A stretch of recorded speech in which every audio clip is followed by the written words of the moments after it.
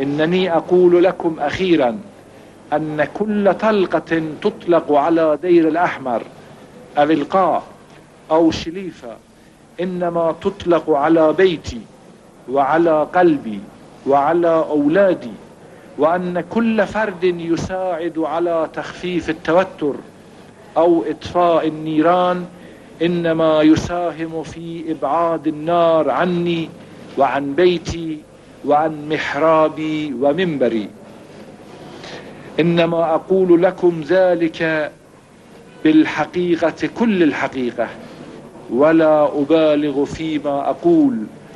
وسأتوجه إليكم في وقت قريب بإذن الله. فإلى اللقاء مع حفظ الأمانة.